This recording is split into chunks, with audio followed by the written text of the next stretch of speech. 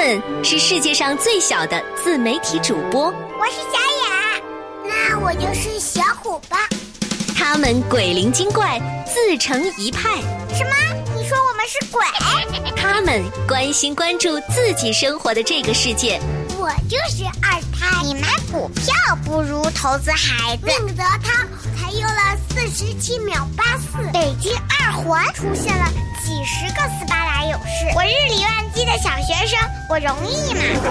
那你日理万机的写完作业了吗？写完作业了吗？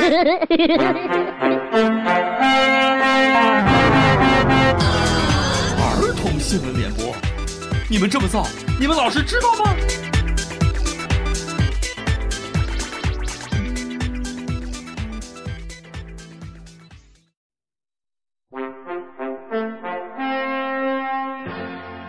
儿童新闻联播现在开始。我是小雅，我是小虎。今天的儿童新闻联播都和爸爸有关，有三个爸爸。哦，爸爸今天不在家。第一个新闻，照片已经打上马赛克了，但是我还是看到他光溜溜，没穿衣服。哎，你得严肃点。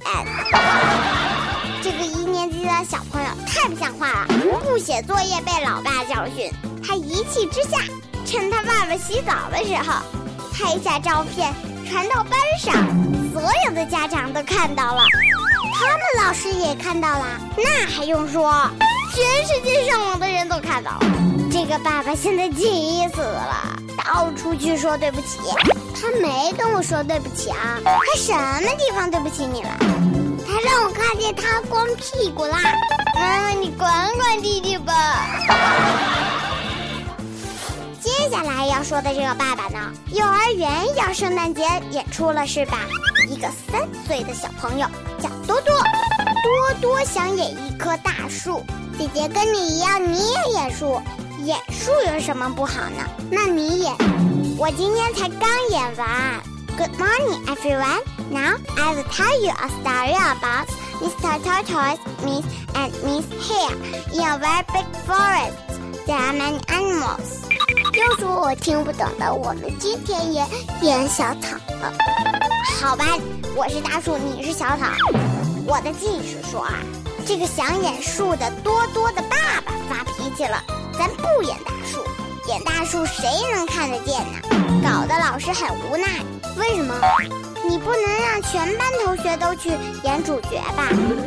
像我，我就愿意演大树，就是矮了点。气死我了！我举着手不行吗？儿童新闻联播还在继续。最后要说的这个爸爸是最让人生气的。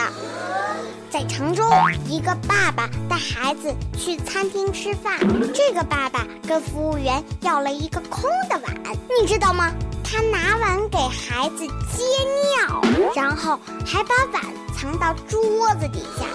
服务员收拾的时候才发现颜色不对，一闻是尿。Oh no！我有时候也会憋不住，是，但你尿裤子也不能用别人的碗来装尿啊。